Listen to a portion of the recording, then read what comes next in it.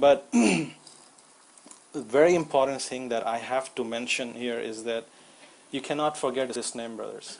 Zayd ibn Thabit. This is the name you should know. And you should know everything about the Sahabi. Because every time we read Quran, you know, we should think about him because he was the main person in charge of this, and we owe a lot of, uh, you know, um, uh, gratefulness, tremendous debt to him, um, what he did. So let's talk a little bit about who this Sahabi was and why did Sayyidina Umar and Sayyidina Abu Bakr choose him as the person to compile the Quran. There are a lot of reasons.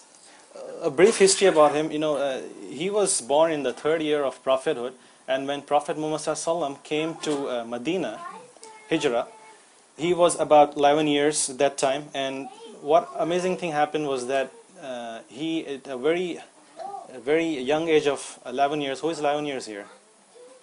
You're 11? MashaAllah. So uh, that age, he memorized 17, uh, 17 surahs. And uh, he recited in front of Prophet Muhammad and the Prophet was impressed by him. I mean, its recitation is different kinds, but his recitation was like really super. And Prophet was uh, impressed by him. And he was not only a hafiz of Quran later on, but he was also very good in writing and reading. And uh, in fact, when he was like about uh, 13 years old, what happened was, what happened at that time? the Battle of Badr. So he was like very enthusiastic. I'm, I'm going to go in Battle of Badr, participate with Prophet Muhammad But uh, Prophet Muhammad said that no, you're, you're too young, you can't go. You're not even 15 yet. Uh, so he was very disappointed, but he wanted to serve Islam. And, and also same thing happened with Battle of Uhud as well. But finally he got an opportunity in the Battle of Khandaq, 6th, 7th year around that time.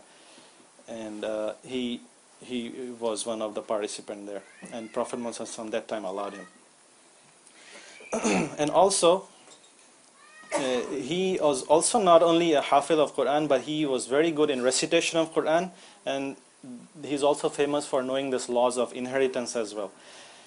And most important thing that is that you know uh, he was like very close neighbor of Prophet Muhammad and he was also nominated as the official person who would write of who would write for Prophet Muhammad so it wasn't just Quran uh, many things. Uh, whenever there was a time to write letters to for example non-Muslims or kings or whoever he would call Zayd ibn anhu to write it.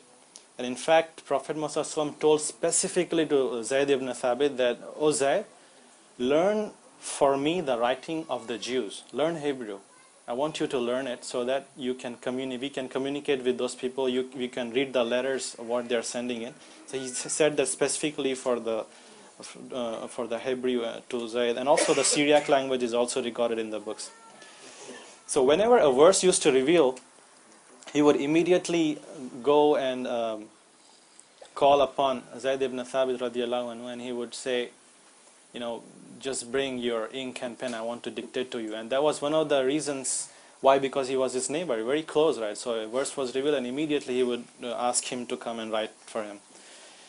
so the reason again why Sayyidina Abu Bakr radiallahu and uh, Umar, they chose Zayd ibn Thabit, first of all because he was well known that he was the primary scribe of the Prophet Muhammad and also he was Hafid al-Quran. He was not just normal person. He knew Quran A to Z very well. And also he was very young. And you know when in, in, in, when you are in your youth, your memory is very sharp, right?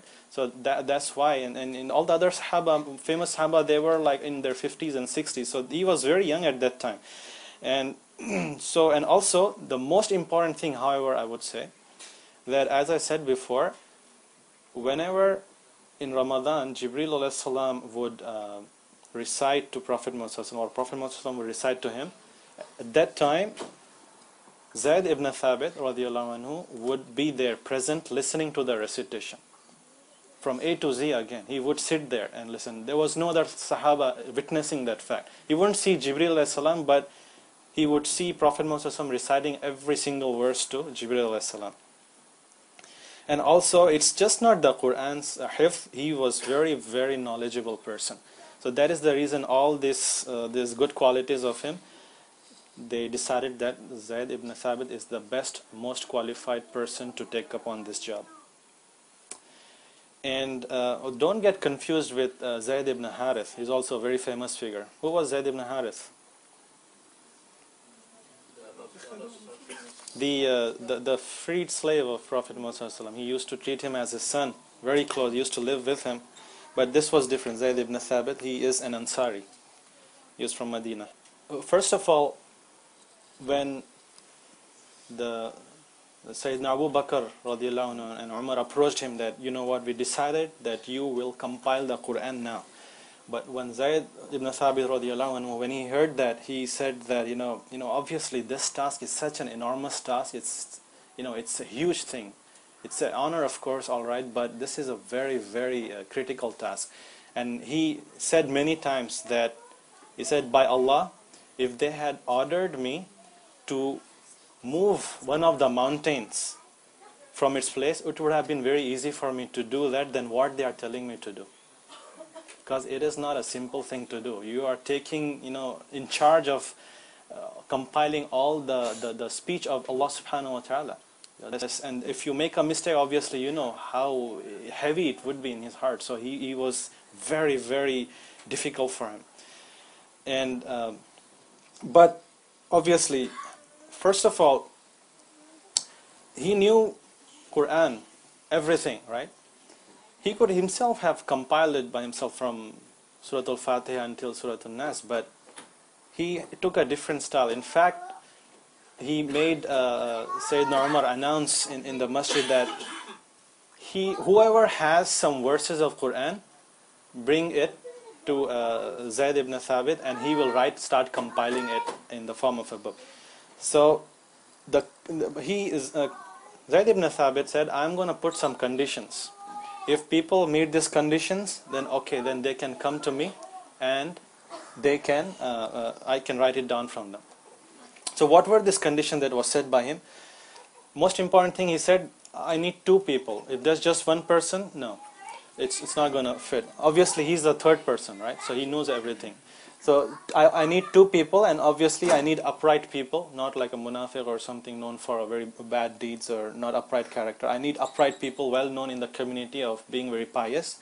And also, this is very important, direct learnings. If somebody comes and said, hey, I know Quran, but if they will be asked, like, where did you learn this from? They would say, I learned it from so-and-so Sahaba. Then you said, you don't fulfill the condition. You should have listened it directly from Prophet Muhammad Directly not indirectly. And written copy, you should have something written with you.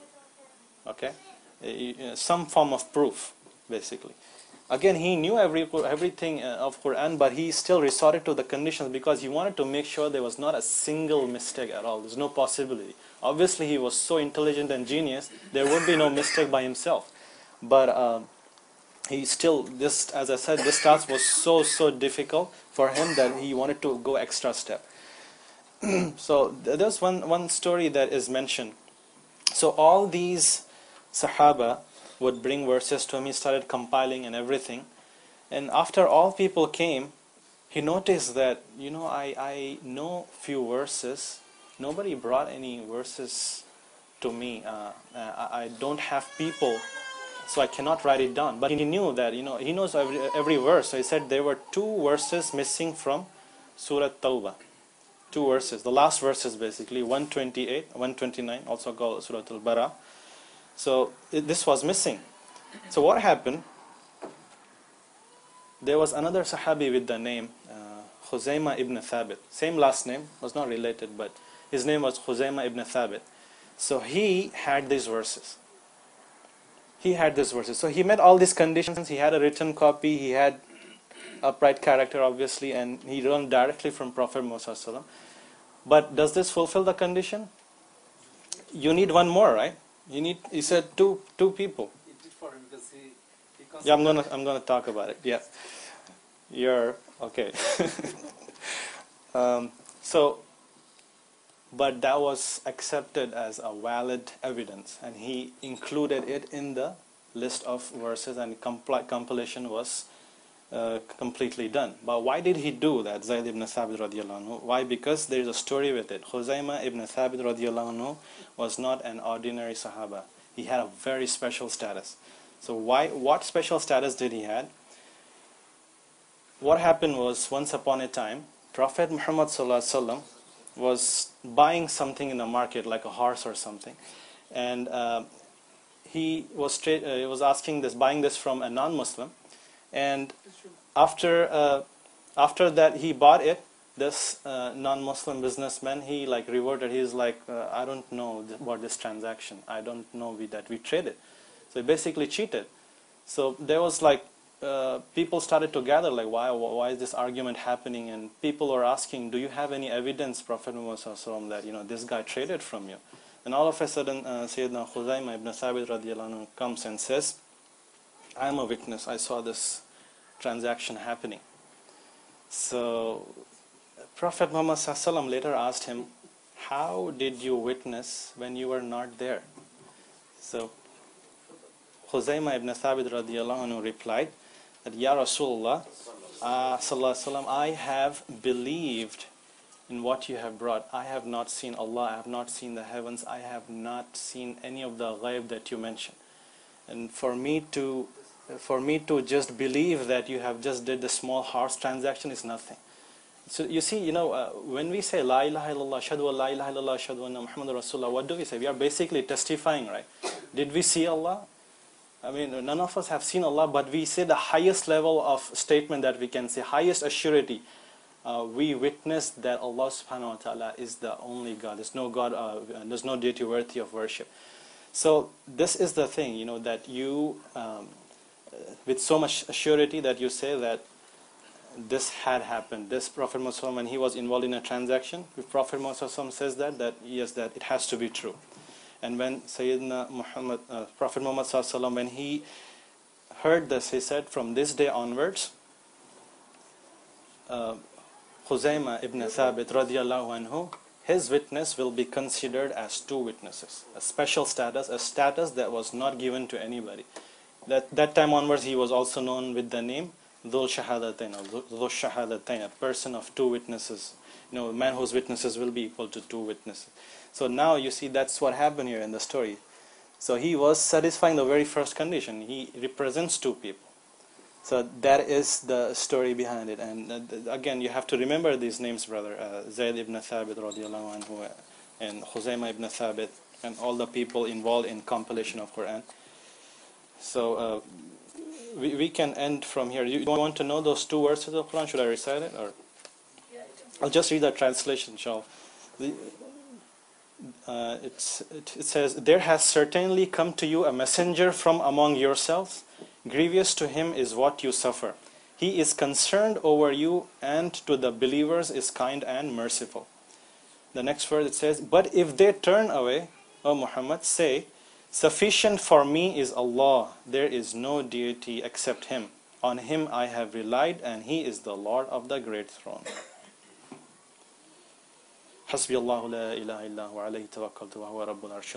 That was the verse that you are talking.